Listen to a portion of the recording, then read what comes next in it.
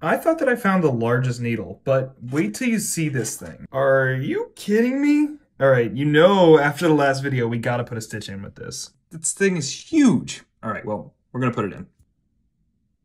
Is it gonna be easy? Oh, well, it's kind of like the other. Wow. Oh, look at that go. Done.